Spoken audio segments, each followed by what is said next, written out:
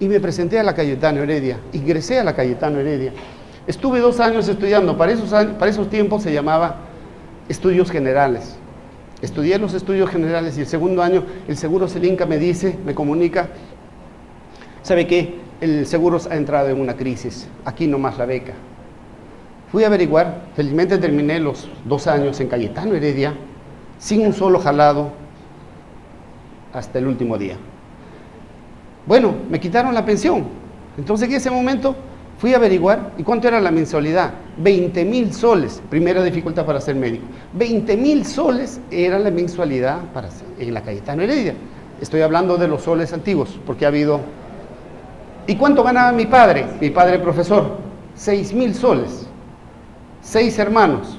Oye, a esa edad, los 17 años, ni conversar para el padre, para decirle, hazte un esfuercito para pagar los 20 mil soles. Caballero, perdí, dije. En esta vida se gana y se pierde. Me tocó perder. ¿Qué hice, amigos? Fui de embajada en embajada. Y recuerdo que llegué a la, embajada de los Estados Unidos. Soy exalumno de la Cayetano Heredia. ¿Cómo decir? Sí, no puedo seguir. Necesito una beca para ser médico. Porque eso es lo que tienen que proponerse ustedes. Si quieren algo, tienen que cumplirlo. No hay obstáculos, no tienen que encontrar obstáculos. ¿Y saben qué le me dijeron a nosotros? A mí me dijeron ese, en la embajada, está bien, te damos la beca, pero siempre y cuando tú domines el inglés. Nuestro profesor Valencia, Valencia nos enseñaba solamente para saludar, pues para probar con un 11, con un 2, o sea, nuestro inglés. Perdí la beca. Y así. Pero toda la actividad que hacía de embajada a embajada, en nada le conté a mi familia. O sea, no había, no había, no, había conversación. Es que somos conscientes al terminar ya la secundaria, ya podemos vivir. Y seguí tocando, tocando, hasta que me dicen, ándate al INABEC, Instituto Nacional de Becas. Presenté mis documentos, que había terminado en la Cayetana Heredia, siguiente por favor, y a, los, y a los tres meses llega una carta en otro idioma. Mis padres no entienden. Llegué a esta ciudad. Llegué a Rostov-na-Dono, Rostov-na-Dono es una ciudad que queda a orillas del Mar Negro, en la Unión Soviética, a vivir siete años. Siete años donde ustedes, donde, nosotros que vamos ahí, estamos solos, no estamos con los papás, con los hermanos. Solito nos cocinamos, solito nos lavamos, solo hacemos todo. Si no queremos estudiar, no estudiamos, nos mandan de regreso. O sea, aquí, con esta formación que salimos nosotros, tenemos la decisión, o cumplo o no cumplo. Pasaron siete años y ya se imagina, como decía mi amigo, siete años vivir en un mundo donde la gente era socialista, era en ese momento socialista, la gente no creía en Dios y no cree en Dios. Y hay muchas conversaciones y muchas cosas que les, les me gustaría contarles. He conversado con gente que ha estado en la Segunda Guerra Mundial, en esos viejitos que tienen sus insignias con decoraciones, que se van al parque y se sientan ahí. Y nosotros para practicar el idioma ruso entonces nos ponemos a conversar con ellos y te cuentan así cosas que han vivido ellos. ¿Cómo ha sido la guerra mundial en vivo? O sea, ellos van al parque solamente para contarte. Y nosotros para practicar el idioma ruso.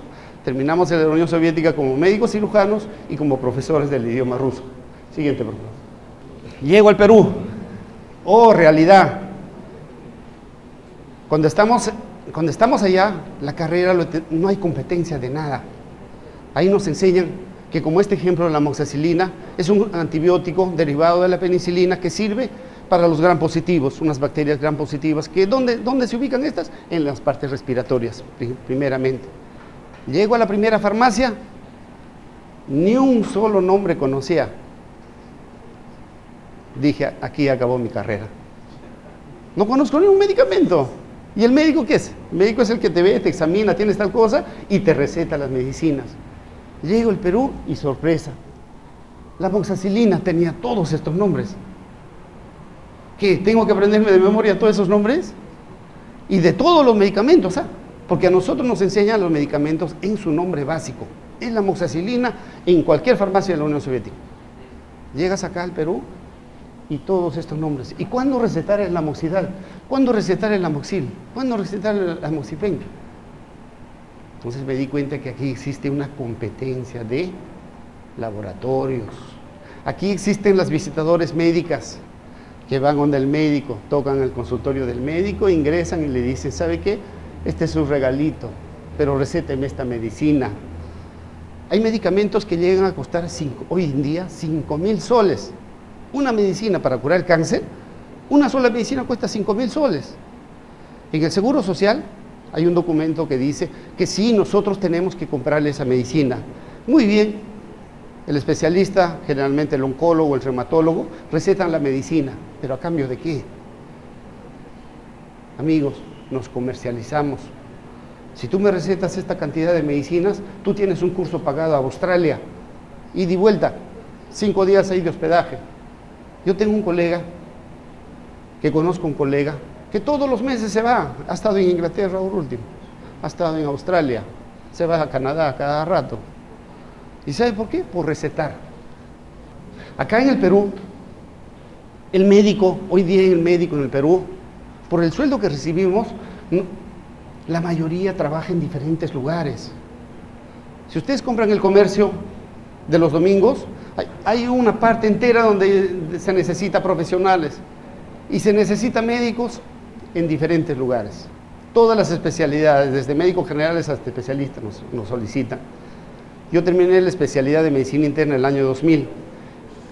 Y les cuento esto porque esta realidad es la realidad de muchos médicos. Yo llegué a trabajar en estos cinco lugares. Trabajé simultáneamente en el Hospital Sabogal, en el Hospital Hipólito Unanue, en, en las ambulancias de cardiomóvil, trabajaba en la clínica La Misericordia, trabajaba en la clínica Badilla. La parte bonita era que a fin de mes recibía cinco sueldos. ¿Cierto? Chévere, ¿no? Pero salía de la casa un lunes a las 7 de la mañana y regresaba a la casa un miércoles a las 9 de la noche. Me iba con mi maletín, con todos mis implementos, todavía uno es joven. Y eso es de muchos médicos. Muchos médicos trabajamos en diferentes lugares, como les digo, porque lo que nos pagan acá no es lo que queremos. ¿Y sabes cuándo, cuándo dejé de trabajar en estas clínicas, en estos lugares? Con esta anécdota. Era a las 3 de la mañana. Yo trabajaba en las ambulancias. Ahí uno ingresa a trabajar a las 7 de la mañana y a las 7 de la mañana del día siguiente se va. 24 horas en ese carro para correr al lugar donde nos están solicitando. Eran las 2 de la mañana y nos llaman. Nos dan la dirección. Hay una señora que está enferma.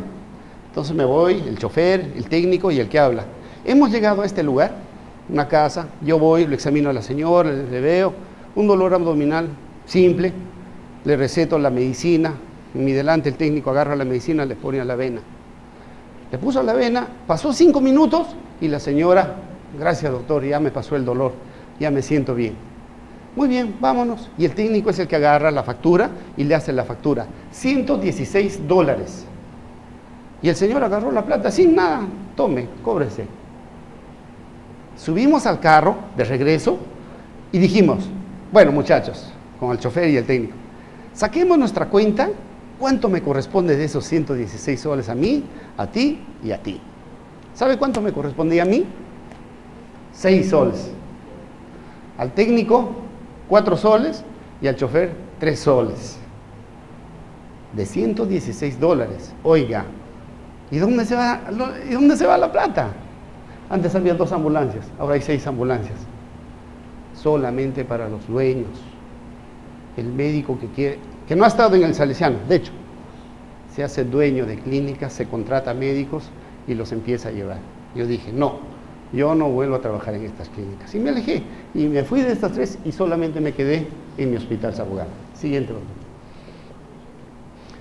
Lo mismo existe en, los, en los análisis de laboratorio. En los análisis de laboratorio la señorita bien vestiditas, entran a los consultorios de los médicos y nos llevan los, las boletas, las órdenes para el laboratorio. Y nos dice, ¿sabe qué?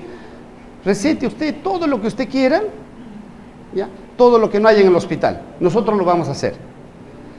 A cuanto más análisis tú le hagas, llegue el fin de mes y te llegue el sobre cerrado. A más análisis, ese sobre se hace más gordito oiga, ¿dónde estoy trabajando? Y hay una competencia. Siguiente, por favor. Antes una persona venía con un dolor de cabeza y les hacíamos todos los exámenes neurológicos. Mire por acá, mire por allá, mire para arriba, mire para abajo, camine 10 pasos, regrese 10 pasos. Hoy en día un paciente llega a ciencias neurológicas con un dolor de cabeza y de frente le mandan a hacer una resonancia magnética, porque esa es la tecnología de hoy en día. ¿Cuánto cuesta una resonancia magnética? ¿Alguien sabe? ¿Alguien tiene idea cuánto cuesta? 300 dólares. 400 dólares. Es verdad, 400 dólares. Óigame, ¿creen ustedes que de esos 400 dólares un porcentaje no recibe el médico? Pero por supuesto que sí. Por supuesto que no sí. ¿Que vamos a trabajar así? ¿Nos vamos a olvidar de nuestros valores? ¿De nuestra formación? ¿De lo que hemos recibido acá? No, no debemos olvidarnos de nuestros principios. Siguiente. Es por eso que ustedes se han enterado, hemos salido 33 días a las calles. Hemos puesto una plataforma de reclamos, pero el único reclamo real, el que hemos pedido, es que nos aumenten los sueldos. Y efectivamente nos ha aumentado. Siguiente, por favor. Hemos estado 33 días en las calles, el Hospital Sabogal se ha hecho presente y el que habla es el representante del Hospital Sabogal. Pasó la huelga de, de salud, empezó la huelga del MINSA, 14 mil médicos en las calles, igualito. Un médico general, un médico general en Estocolmo empieza ganando 5 mil dólares, en el Brasil 3 mil dólares, en el Perú empezamos con 1.500 soles, 2.000 soles. Entonces, hoy en día nos han escuchado a estas dos huelgas, siguiente, nos han escuchado. Esto solamente para enseñarlos que en toda mi formación que tengo 27 años de médico en la seguridad social, 27 años, como ha pasado el tiempo, caramba. 12 años en cargos directivos, pero para mí lo más bonitos en el Hospital del, Seguro de Huánuco. ¿Alguien conoce Huánuco? ¿Nadie? Ahí está, el Seguro de Huánuco. Para el tiempo que estuve ahí, trabajábamos 14, eh, aproximadamente 400 trabajadores. Fui el director dos años y medio el hospital de Fiori. ¿Quién conoce el hospital de Fiori? Acá en el paradero Fiori. No se ve bien, pero ahí estoy con bigote todavía. Director igualito, dos años y medio. Fueron las cosas que me...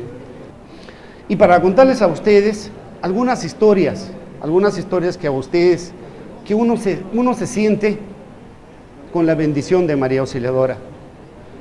Estaba en el primer año de la residencia, Residencia se dice formación para ser especialista.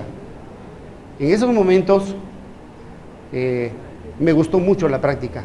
Yo era de las personas que me gustaba la práctica, hacía las punciones al tórax, hago las punciones abdomen, a la columna lumbar, el catéter venoso central. Siempre me ha gustado. Entonces cuando llego a la guardia a las 7 de la noche, eh, los que se iban me dicen, Armando, has llegado a tiempo. Hay cuatro personas para intubarlo. ¿Qué es entubarlo? Entubarlo es este procedimiento en el cual nosotros ponemos ese aparato que se llama laringoscopio para ponerle un tubo a la parte terminando la faringe hay dos conductos, uno que se va al estómago y otro que se va a las vías respiratorias. Entonces colocar el tubo a las vías respiratorias no es fácil, hay que tener mucha práctica y yo lo tenía bastante práctica. Ese es el procedimiento de intubación. ¿Qué había pasado? Me dice, ¿sabes qué? Aquí está la señora, una señora de aproximadamente 70 años.